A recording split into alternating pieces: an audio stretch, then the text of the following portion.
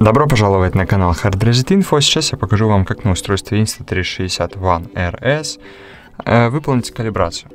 Для этого мы спускаем шторку быстрого доступа вниз. Вот мы окажемся здесь. Теперь переходим в настройки.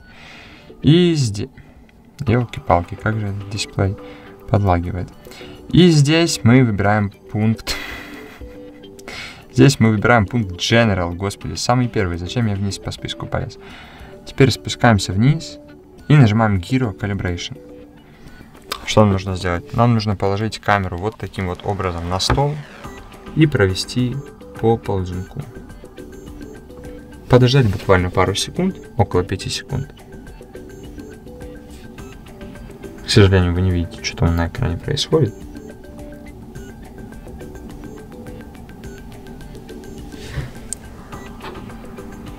И все. И написано Calibration Success.